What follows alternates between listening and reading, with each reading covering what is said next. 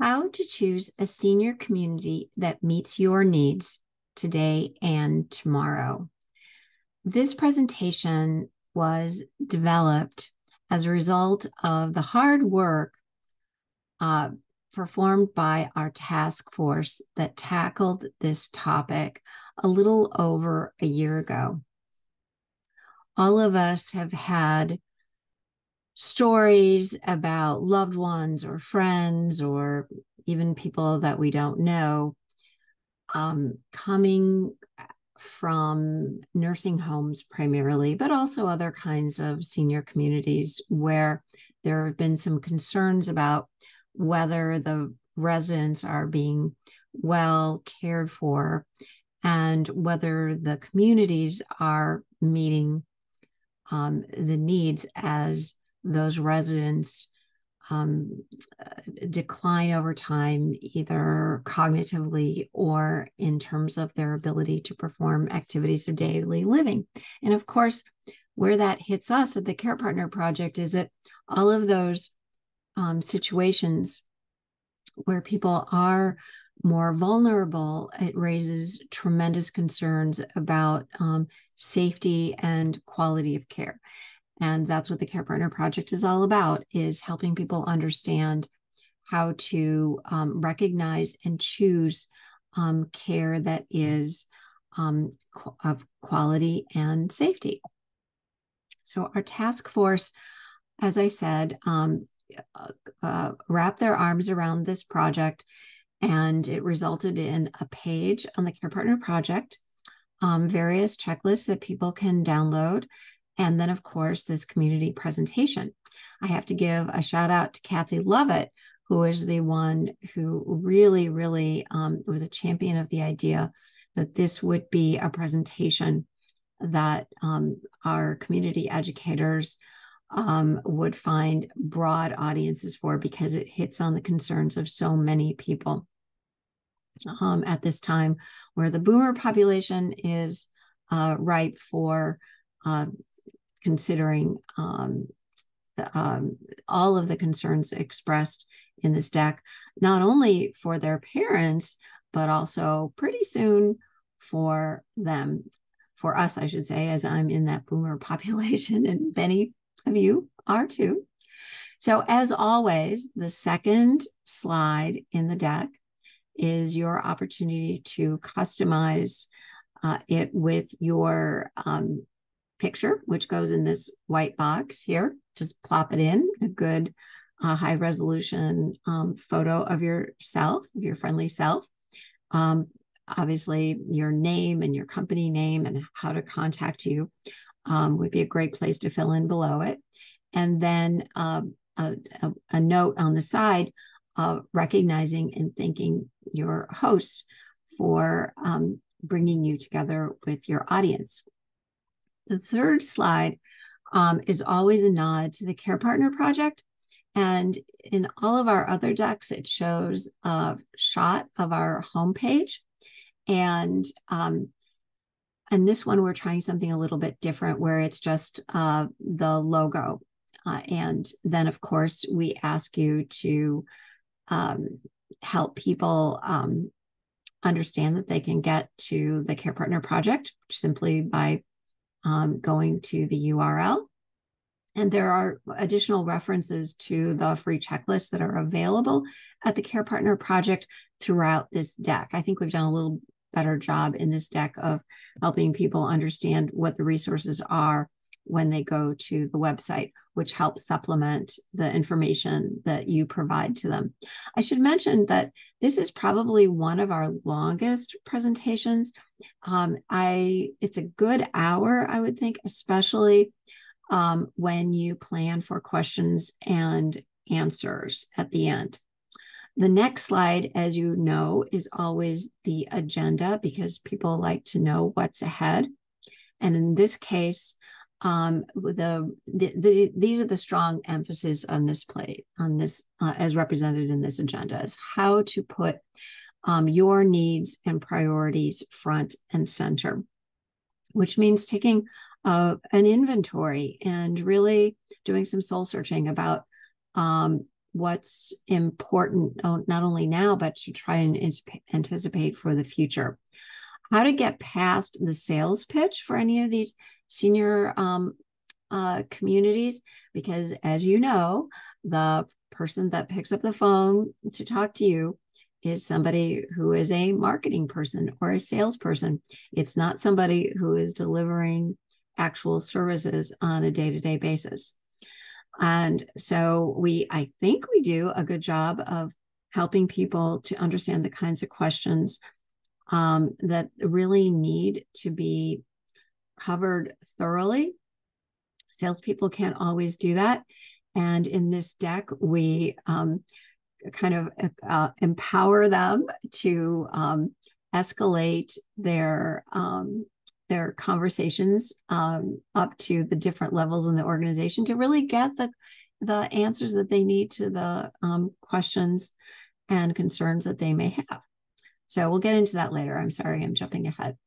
Um, what to watch for when you tour um, and the emphasis, of course, coming from the Care Partner Project is what are the cues for quality and safety and a match to your needs and priorities?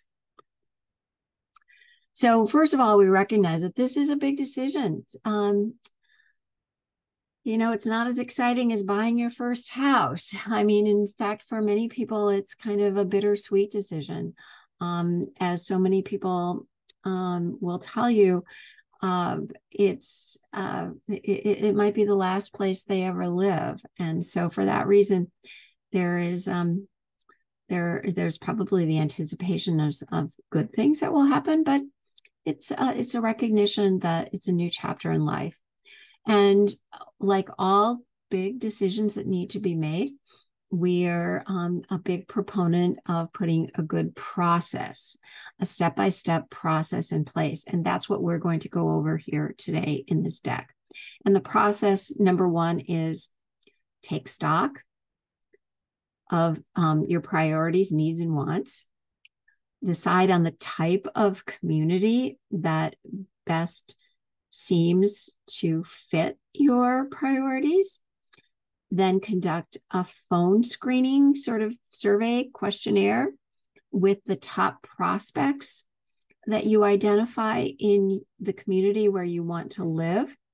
And by the larger community the geographic community the town or the city or the uh, rural area even where you want to live. It may be where you've lived all of your life and raised your family or it might be someplace entirely new. Like it might be someplace where the weather is better for example but whatever it is, um, try to. There are a lot of different options, so we really highly recommend that they um, they just do a, a simple phone screening um, to spare themselves the time um, and energy that goes into actually doing a good tour of the top prospects. You want to spend some time at each place. As, as we mentioned, it's a big decision. It's not a simple one by any means. And that last stop of touring um, really shouldn't be rushed. And maybe it will require a couple of tours, a couple of stop or even pop ins at a place that you're considering moving to. So, um, in each of these um, uh, steps here, one through four, we have a section in the presentation that covers each of these in depth. So, this is just the intro. And it should be mentioned that all of these are alternatives to aging in place that the considerations that go into that decision, aging in place versus moving elsewhere, um, I think we kind of assume that they've already been through that because this deck does not go into any of the pros and cons of aging in place. Um, and, and maybe all of you who are giving this presentation, you may have some insight to bring to bear in that in the comments or the stories that you um, tell from your own experience but that's not where we're going with this deck. And I'm just saying that kind of parenthetically to you. Um, so going back here, so step one, take stock. What's important to you and what's not important to you. Again, um, and uh, we launch into this thing that um, you know, just get it all out on good old fashioned paper and pencil, or you might want to make a spreadsheet. Um, but just getting everything up on the table is really important. Chances are at this point, you've lived 60 or 70 years, so you have a pretty good idea of what's important to you. It's always helpful to start with good conversations with other people um, because they may think of things that you don't think of or they you know your your daughter for example um, may have observations um, just from living with you um, that she recognizes that um, oh mom you know what has always seemed to be important to you is like you really like living near you know, a Baskin Robbins. It seems like wherever we go, you always want to know where the Baskin Robbins is because you like that mint chip ice cream.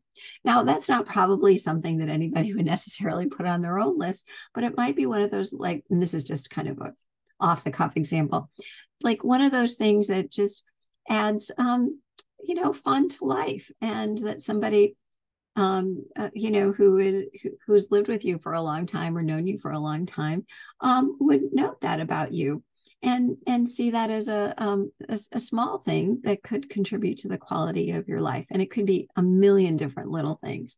But in any event that as i said that's just one little example. So going over and making your list with somebody else can be really it can be fun. It can be very productive so again this is sort of um, on that you know making your list of what's important here are just some topics um, general topics that um, you may want to cover. And again, um, it, it, would be super helpful probably to put all of these kinds of things on an Excel spreadsheet or some sort of, you know, maybe different sheets of paper with, um, you know, with headings with uh, each of these headings and, and more headings that um, the person will come up with. Um, and um, and and just you know throw it all against the wall or put it all on your um, on your sheets of paper and again start to prioritize from there um, and then also here at the care partner project to help this process along we have um, checklists under lots of different headings that can also help to inform this um, this process of of thinking about needs wants and priorities um, this slide we put in, um, it's kind of redundant. Um, I really like the messaging on this slide um, because I have heard that sometimes when other family members can get involved, there might be some judgy stuff going on.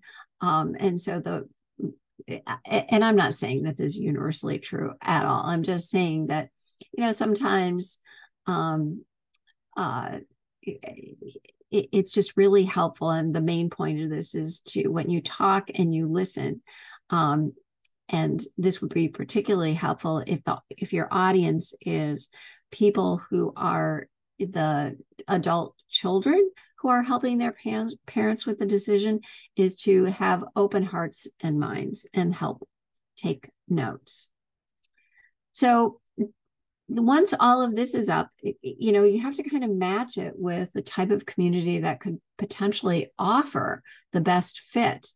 And um, we get into this section on the different kinds of of senior communities. Now, we start with continuing care communities, also known as CCRCs, because they offer, you know, different types of communities within sort of a, a either a big building or a couple of buildings or a campus atmosphere, but they're all um, connected in one way or another. Um, and I don't mean physically connected necessarily, but they're all part of the same um, system of um, and, and owned by the same company. And I think it's important, and you as advocates can speak to this um, possibly from your own experience, is that there are for profits and there are not for profits. And there are some subtle differences between the two, and we'll get into those in a little bit. But starting with continuing care communities, they typically offer independent living, memory care, assisted living, and long term care. Um, or they may offer just three out of the four of those. Um, many of them do not offer either long-term care or memory care. It's um, it's you know they're just different um, configurations. So there's a possible substantial upfront investment, and they always involve um, monthly, um, ongoing monthly fees as well. Um, a long term contract may be required. And um, the, the contractual aspect of this is uh, important to note because um, it, it's it, you know it it spells out obligations. And once a contract is signed um, it's it is a contract. It's it's not easy to get out of if you're unhappy for any reason which is all the more reason to spend a lot of up upfront time really trying to figure out um, as best you can what living in any type of community or any one uh, continuing care um, community would actually feel like, look like, be like on a day to day basis. So, in terms of independent living, um, you know, whether it's on its own or as part of a continuing care community, they're always typically apartments or small townhouse homes that offer a range of activities and amenities, um, sports, um, meals that you can take communally or you can order to go, or you have a, a, small kitchen typically where you can make your own meals if you wish. Um, most of these in independent living will have like a meal plan. So it's a kind of a combination of meals that you can get at like at a central dining room or you can pick up and and, and it might be something like uh, 20 meals a month or 10 meals a month or there might be um, a, a, several different plans to choose from but um, there there's usually there are usually um, some provisions there. And house cleaning is also offered, um, whether it's built into your monthly fee or it's an extra fee, it is generally available. Um, transportation is usually provided. So, um, for getting around to grocery stores or doctor appointments, sometimes it's pre scheduled, and other times, like for doctor appointments, you can sign up to get transportation that is um, just uh, for you. And again, that's something to look into to find out what kinds of fees um, may be um, extra for uh, transportation or and what's included. Um, and they're community based as well as off campus. And I mean off campus, meaning off site um, social activities. So, some potential unwelcome um, surprises and potential problems are um, that in continuing care communities, independent living may be significantly more attractive or buttoned up and amenity rich than their assisted memory or long term care facilities. Check out all of them before you commit. And there is, um, um, we're going to get into this a little bit, but there's Margaret's story about her experience with the um, with a continuing care community. Um, that is a perfect example of of buying into such a community based on how cool and wonderful and spectacular the independent living um, facilities were compared to um, the facilities for um, people as they needed more help. Because typically people don't check out the additional facilities. They're taken in by the sizzle in the independent living side. And part of that's human nature. You know, pe- people who are coming in who are busy, active, independent, um, it's really hard to think about being less busy, less active, and maybe dependent someday because of um, of uh, uh, physical limitations or cognitive limitations that may crop up as you age. So, all that being said, um, uh, it's it's very um, prudent to check out all of the facilities um, because remember that contract, you're locked in. Um, and then for assisted living and memory care, it's really important to lock in the specifics in writing about all the services that are included in your monthly fees, plus any ad- extra costs for additional assistance um, beyond medication management. Medication management is typically included in all of these phases of in uh, senior communities and um, continuing care communities.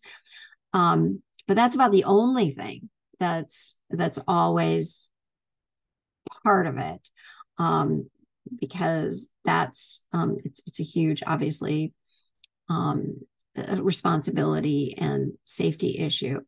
Um, but here, I always give the example. Um, my brother-in-law, uh, his dad was in assisted living, and he was becoming a little more unsteady on his feet and a little less confident, and was not going down to meals because he was worried. He just felt unsteady. It was kind of a long walk down to the dining room, and he did have a walker, but he just wasn't as con- as confident. And so Jeff, my brother-in-law, asked them, and I said, he said, would you mind just walking my dad from his room down to the dining room meals? Because he really enjoys the company. He's a an outgoing guy, and um, he's just, you know, it just does him good to get out rather than take his meals in his room. So at the end of the month, Jeff got a bill for taking his dad back and forth to the dining room three times a day. So that's six trips at um, a hundred dollars round trip because it was fifty dollars each way. So that was three hundred dollars a day for a month, which added up to, if my math is correct, around nine thousand dollars that month, just because Jeff, in his offhanded way, said, "Dad's worried about falling." um, could you could you you know kind of walk him down to the dining room? That was a very interesting and unexpected development. So it's just things like that um, it's just very important to understand um, what's included and what's not and and if you ever have any questions um, you know just uh, or a- any just just always ask um, also, another thing that could be a very unwelcome surprise are if there are any planned construction or renovations, either in the community itself or the area around it. Um, uh, people can be very sensitive to noise. And if you are one of those people, this could be very upsetting. Um, people who are suffering from um, dementia have are acutely affected by noise typically and so this would be something that if somebody's in memory care and there's going to be a lot of construction that would be one to cross off your list because um, that is actually very very very upsetting to many people who are um, suffering from dementia. So that's just those are just two small examples. So in this case, um, I'm, there's in your toolkit um, is um, uh, Margaret's story, and this is talks about her signing up to live in um, the the the Ritz. It wasn't literally the Ritz Carlton brand, but it was the Ritz of independent living, um, which she when it came time for assisted living, um, it was and moving into the assisted, living um, uh, quarters uh, compared to her independent living was the Frumpy Motel.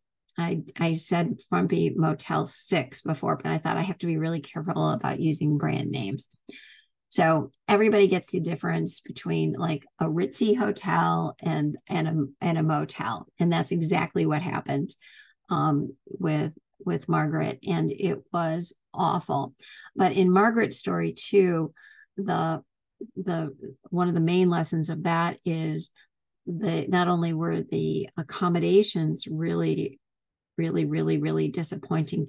It was the medication errors that were made that were just downright scary. So it, I guess you could say it might be a clue that if somebody isn't providing the care and the respect and the detail that went into independent living and using that care and respect and detail to put it into managing assisted living, that there could be some big safety issues involved. And in Margaret's case, there clearly were. So, with assisted living, what you can expect there is help with daily living, um, compact apartments with small kitchens and small appliances, but no ovens or dishwashers. Um, so it would be like a microwave and maybe a coffee maker. Um, meals are generally served in the dining rooms, but if somebody doesn't feel up to going to the dining room, meals typically will be brought into um, the residents' rooms. Um, and um, and there are you know there's there's more available in terms of um, you know bathing showering washing hair personal care um, and even help with um, meals and again it's very important to find out too which of these will be um, additional costs and which will are just simply included also, it's important to find out if the assisted living has tiered levels of services and and pricing that goes along with it. So it would be um, levels one through four typically. So a level one is basically very minimal assisted living, maybe just with medications, whereas four would be, you know, help with um, bathing, dressing, eating, etc. So um, in the dining room, there will be um, typically um, uh, people get to choose what they want to eat. And typically, um, they ask for residents to fill out their menus for a week or several days in advance. And um, this is another thing. Some people with a, an assisted living can't really organize their thinking around making choices for several days at a time. So, this is another good question to ask. Um, do ask of yourself when you're thinking about going into senior community would I feel comfortable filling out a menu for a week in advance, or would I want somebody to help me? And if I do need somebody to help me, will there be a charge for that? So it's really it's it's kind of daunting, isn't it? I mean, there are so many little details, but it's really important to cover them. Housekeeping and laundry services are always included. Sometimes um, residents are encouraged to do their own laundry for as long as they want to or they can. Um, laundry services, again, it could be a la carte or not. Um, medications are always administered by staff. And then, of course, um, other um, activities of daily living um, need to be covered as well. So, memory care communities is a, a um, help for body and mind. And memory care is geared for those diagnosed with dementia. And they have small studio type apartments usually. Um, it's very simple. Um, and they're all designed to create a safe environment um, for those who are living with impaired daily living skills, including locked doors. Um, there are um, all and and oftentimes the memory units are sort of tucked away apart from other units. Um, again, just to make sure that there's no um, that people aren't you know coming to the doors of the memory unit very often from other parts of the um, campus or facilities uh, because every time a door is opened, it's a real um, it's a real risk that people will want to leave. Um, it's it's just something that does happen. Though sort of the wandering um, is sort of a feature of those who are dealing with um, cognitive decline. Um, there are communal meals only, and staff will help as needed with um, showering, uh, toileting, dressing.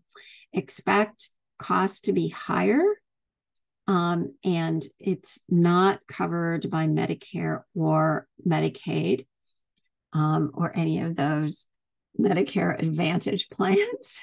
um, so I don't know if they promise them or not. I'm just being a little bit cynical here, I guess. Um, but in any event, um, these um, these are uh, and, and, so often I, I, hear stories of people who are um, wanting their parents or wanting to live in its assisted living for as long as possible because of the jump that happens um, when somebody um, really needs to be in a safer environment in memory care. It's a tough decision. And also, I think it's really important to understand and look in the contract um, who makes that decision.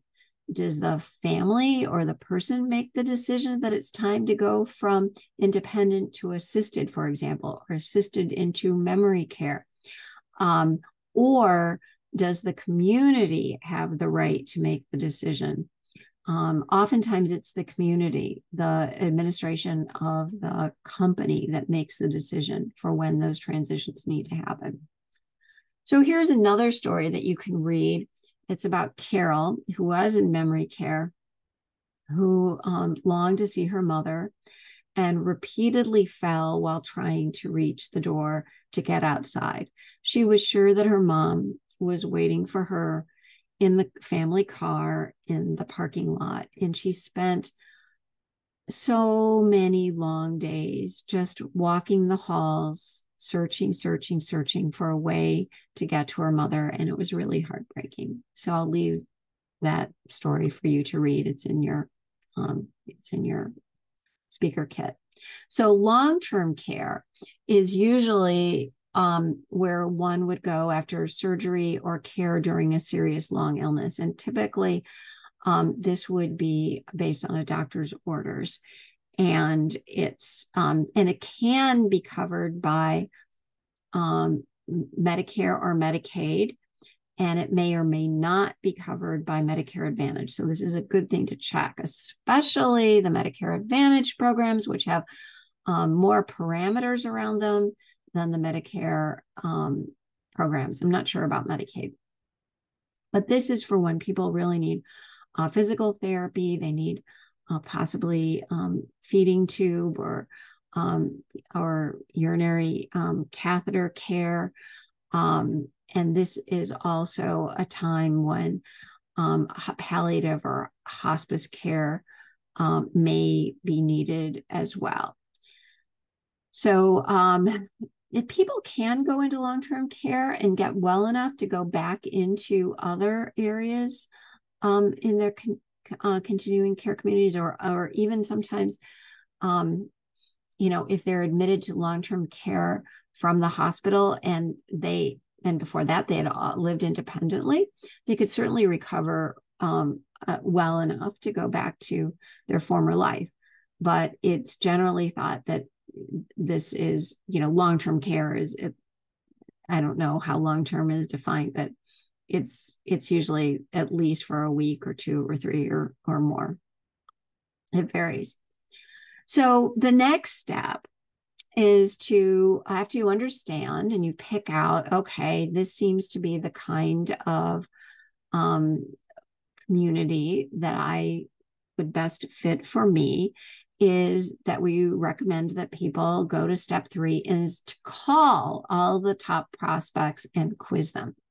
So first of all, though, um, uh, it's it's very helpful to check the online reviews, to ask around, and to ask a nurse if you can find a nurse who either works at a hospital and sees lots of people who are admitted from an assisted living, for example, or a long or a um, an independent living or or memory care. They see everything, and they all know, you know, um, where the the great care is happening and the not so great care is happening. So, and also Yelp is a good place to look for um, Yelp reviews, and um, and we, I mean, of course, you know, the caveat is that people who write Yelp reviews tend to be more on the disgruntled side. Um, but um, you um, you can also um, see start to see some patterns.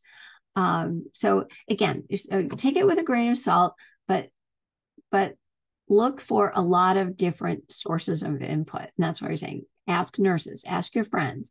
Go out on Facebook and say, hey, we're thinking about these communities. Private message me if you have any insights or info about any of them, good, bad, or otherwise. Um, use your use your networks to really um, dig into the reputations, um, and um, you'll you definitely. And also another good thing to look at is you can go on Indeed, which is a site for employees and where the employees rate their employers. So you can look up any of the um, the communities that you're thinking about considering and find out what their employees have been say about them. The only thing with Indeed is that you have to set up an account. It's a free account, so you know you're going to get once you sign up. You know you'll start getting a lot of emails from Indeed, but it might be worth it because um, employees um, ratings uh, can really tell you a lot about um, the the vibe of the community and how it's how it's managed. So that's a good resource as well. So then when you let your fingers do the walking and phone the the top prospects, pick two, three, or four. Um, you can follow your checklist um, from the Care Partner Project that have lots of good questions to ask. Remember that the people that you're talking to on the phone, they are selling. So sometimes you have to keep pressing for answers, and sometimes you have to keep, they say, well, we don't know, or, you know, why don't you just come in and we'll talk about it? You know, you're totally entitled to say, well, please let me know um, of somebody else in the organization who will be able to answer these questions. I don't have a ton of time and I'm going to do, I would just be very forthright and say, I'm doing all my screening on the phone and I have some things that are very, very important to me and I need answers. So, you know, they're nice people usually. So I bet you, you know, they'll, they'll help you. Oh, they'll do their best. And if they don't, then isn't that a red flag? So here on the next couple of slides um, are are things, topics to cover in your phone interview, the key questions to ask.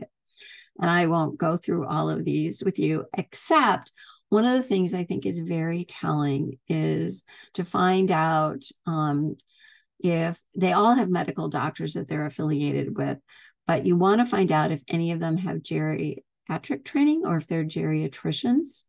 Um, this issue of um, staff to oh, I should change this word, not patient ratio, it's staff to resident ratio. Um, is that that's going to there's no hard and fast rule about that. For example you might call one and they say oh our staff to resident ratio is 19 to 1 and you think oh okay that, they're all adults. That sounds great. And then you'll call another one and they'll say oh ours is like seven to one, and a third one will say nine to one. And then you'll kind of get the idea of like, hmm, that one that's 19 to one, they're really the outlier. Um, they're that doesn't feel as good as the um, as the lower um, ratio. Um, again, um, it's it, you know, so this is really kind of all relative, and whether the um, doctors have um, geriatric training or geriatrician specialist. Again, that's all relative, um, but you would really do want to dig into the, backgrounds and also find out um, what hospitals they're affiliated with. Where is the closest hospital? What is the emergency room that would be used? So you want to check out, you know, the ratings of those local hospitals as well.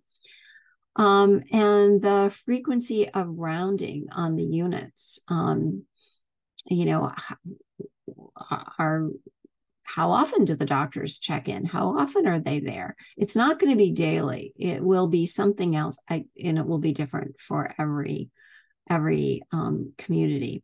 And then ongoing professional staff training, and ask particularly even for assisted living, is what have what kind of training have they had with Teepa Snow training?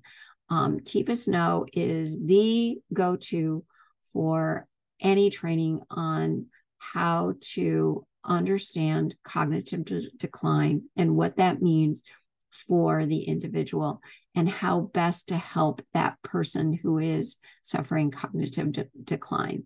And if they haven't had any T- Teepa Snow training, to me anyway, that is a red flag.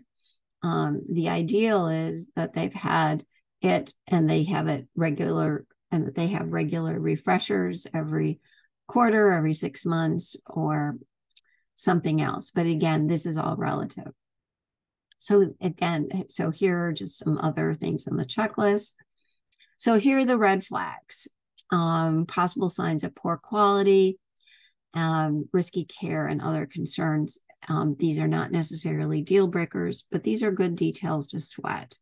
So, I mean, as advocates, you can go over all of these, um, and um, and you probably have a lot to um, offer yourself here and probably have some uh, anecdotes to share um, especially like you may have some horror stories. And it's okay to tell them because people um, as you can tell um, uh, there it, it's you know when you talk to anybody who's working for a um, a, a, senior community, and even when you're tour, um, it, it's still all very superficial compared to what the experience is like when you're actually living there.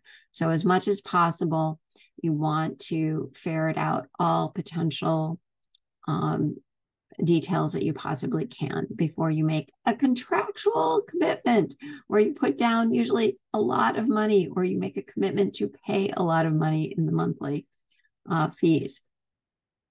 So then the next step is step four time to tour.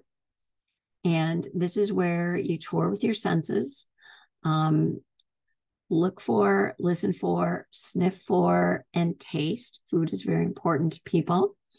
Um, again, um, the, the red flags to look for when you're touring are a whole list of these, and then maybe you might have more to add. Again, and they can you can pick up um, a lot of these things at the Care Partner Project. We we do have a checklist for for these kinds of things. Um, there are special considerations for couples. Um, an interview will be necessary. Medical records are reviewed. Um, I thought this was very interesting. This was a new one for me um, that hybrid apartments may be available. Um, one person in the couple may receive medication management or support and other kinds of help um, that the other person um, doesn't necessarily need quite yet. And quite honestly, these um, when and these are horror stories that I have heard when the hybrid apartments are not available and the couples are living together, the person who is more capable is usually then becomes responsible for helping the person who, you know, their spouse who is having some significant challenges. And that can really erode the well being of the person who is um, still in um, very good health.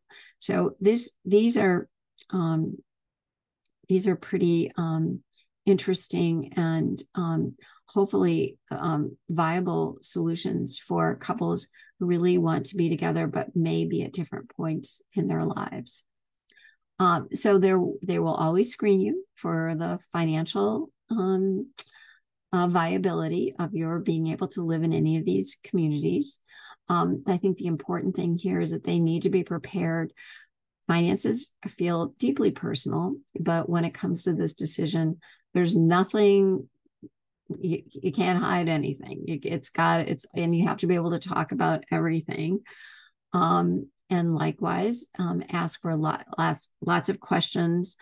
Um, about uh, you know what future costs will be sometimes faith-based communities um, these are the nonprofits uh, may offer financial assistance and it's definitely worth asking about that uh, i should mention to you like there's one here in the chicago area presbyterian homes um, that is really fancy and pretty and very high end, but it's faith based.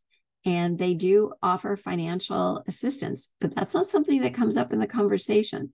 That's something you have to ask about. They don't offer it. So um, it's definitely worthwhile to, to bring it up. Um, again, get navigating the cost and contracts. A huge thing here is to really um, review everything with a lawyer, accountant, financial planner, possibly another family member or trusted friend.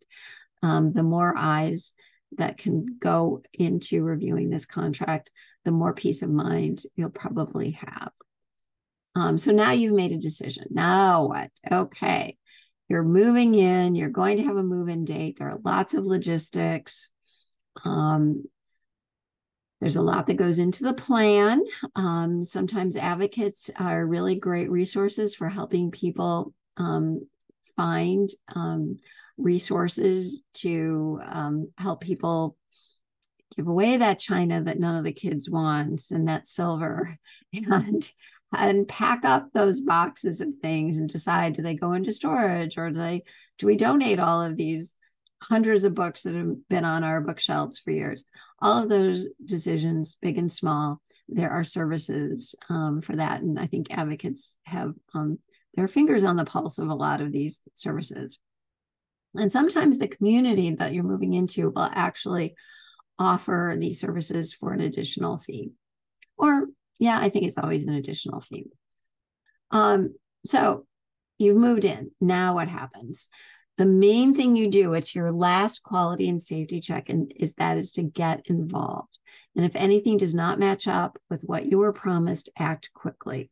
Ask for a meeting include your people your peeps the people who helped you with this decision any of your advisors um, to be part of that meeting. And and then use your um, care partner project checklist and the notes that you kept during while you were doing your due diligence.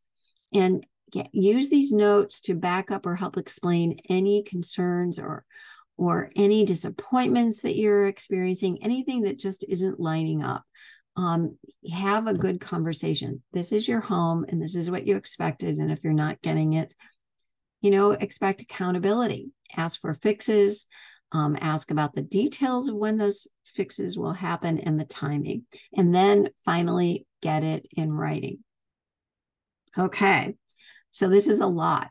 Are you feeling overwhelmed? There is help. And um, the reliable, there are reliable, independent professionals who can be at your side guiding you through this process. Um, certified senior advisors, and you can find them listed uh, at the Society of Certified Senior Advisors and professional patient advocates. Um, and what we mean, and you can explain this better than anybody, that independent means they're not paid by any senior com- uh, community. They're not paid a referral or a finder's fee. There are lots of companies out there, there that advertise on TV. Um, and just be aware that they are paid a referral and a finder's fee. So um, their, their their first allegiance is to their those organizations that are paying them. So two that are not are our senior care authority and care patrol. Um, these, uh, by the way, from the Care Partner Project and from you, are examples of independent professionals, not endorsements. So search in your area. We recommend that people search in their area for these and similar consultants, but always ask, you know, you know, basically, what is your business model? And then you find out um, whether they are paid by the um, the uh, senior communities or not. So then this is the last slide or next to the last slide, and you open up the floor for ideas and questions and a good chat. I'm sure you'll get it. The last slide is always a thank you, um, where you insert your picture again with all of your name, your name and your credentials and how people can um, contact you. And then if this presentation was helpful to you, um, ask them to spread the word about it with groups in um, your area and then let them know that you speak on other topics in person or on Zoom and just to drop you a note. So this is 41 slides and a lot. Um, please let people know that um, they'll get an email from you with all of the notes in um, the handout. So it will um, come their way. You can send them a thank you note. And um, thank you very much. I hope you enjoy giving this presentation as much as we enjoyed putting it together. Thank you.